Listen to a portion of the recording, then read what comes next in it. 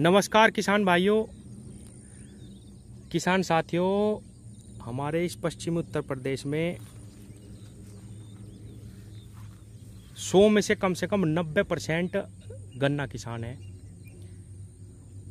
और किसान भाइयों, ये मैं सच्चाई बताऊँ, मैं बहुत जगह घूमता हूँ, किसानों के बीच में रहता हूँ। सौ में से केवल चालीस पैंतीस ही किसान ऐसे निकलेंगे जो अच्छी फ़सल ले रहे। साठ से सत्तर किसान बहुत अच्छी फ़सल नहीं ले पाते।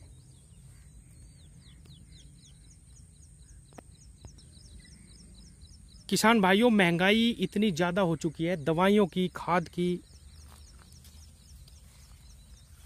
के सभी दवाइयों का उपयोग करना और एक अच्छी फ़सल लेने के लिए अच्छे खादों का इस्तेमाल करना भी बहुत मुश्किल हो चुका है।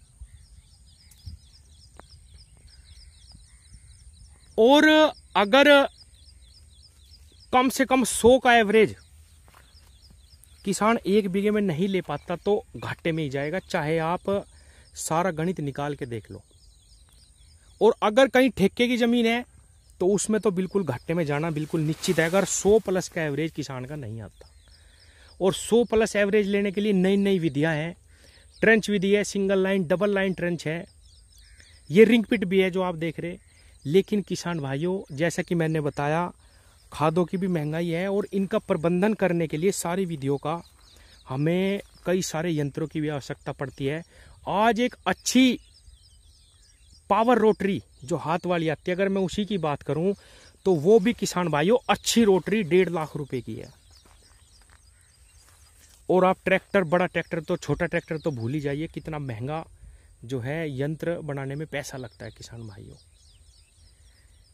इसीलिए किसान साथियों, मैं आपको थोड़ा सा ये गणित समझाने की आज फिर कोशिश करूँगा कि कैसे ये जो रिंग पिट विधि है, एक छोटे किसान के लिए सबसे ज़्यादा उपयोगी साबित होने वाली है।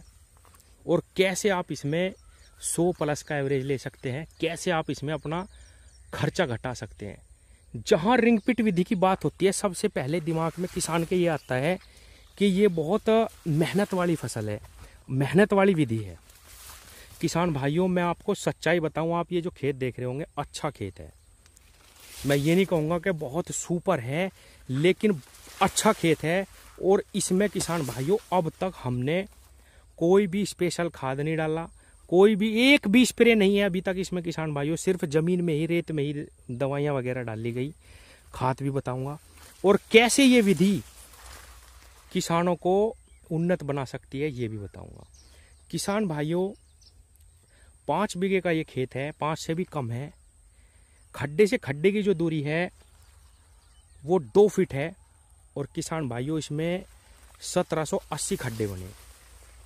लाइन से लाइन की जो दूरी है, सेंटर से सेंटर, वो केवल छः फुट है। सेंटर से सेंटर, ये देखिए किसान भाइयों।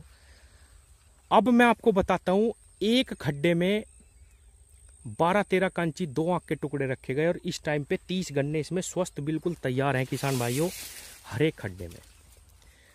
अब किसान भाइयों, मैं आपको बताऊँ कि चाहे सिंगल लाइन ट्रेंच हो, सिंगल लाइन ट्रेंच बिना औजारों के बिल्कुल नहीं संभव ही नहीं है। उस पर बहुत ज़्यादा गहरे खोड़ निकालने, बीच में ट्रैक्टर चाहिए। और किसान भाइयों, मिट्टी चढ़ाने के यंत्र चाहिए, रटून मैनेजर बाद में पेड्डी का प्रबंधन करने के लिए चाहिए। इतने सारे औज़ार तो एक किसान, बड़ा ही किसान बनाता हुआ थक जाएगा, किसान साथियों, छोटे के तो बहुत ही ज़्यादा दिक्कत आएगी। अब मैं आपको बताऊँ, इसमें हमने जब से बुआई करी है, तब से तब से लेके अब तक इसमें कोई भी बीच में आप देख रहे होंगे, घास हो रहा है, कोई दिक्कत नहीं आई। सिर्फ़ एक बार इसमें निलाई करवाई है, यानी खड्डों का जो बीच का घास है वो निकलवाया और अब तक इसमें कुछ नहीं करा। कोई दिक्कत गन्ने पे नहीं आई, किसान भाइयों। ये देखिए, किसी में तो 35 35 40 40 गन्ने भी तैयार हैं। और किसान भाइयों, मैं इसमें अभी मिट्टी नहीं डाल रहा, मैं सोच रहा हूँ कि एक नड़ाई और करवा दूँ।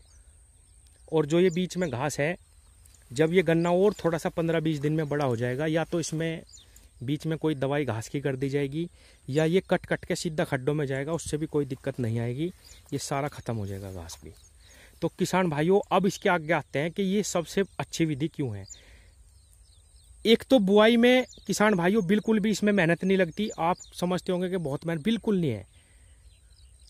अगर आपके पास 28 इंच का लेजर है, बीच का खुरपा खोल दीजिए, गहरे खूर निकालिए खूब, और आप उसमें फावड़ों से भी खड्डे कर सकते हैं। किसान भाइयों, बिल्कुल भी दिक्कत नहीं आने की। बीच में छप्पन इंच जगह खाली रह जाएगी, और आराम से आप दो चार दिन में अपने खड्डे कर लो, फरवरी के लास्ट में ये काम स्टार्ट कर देना।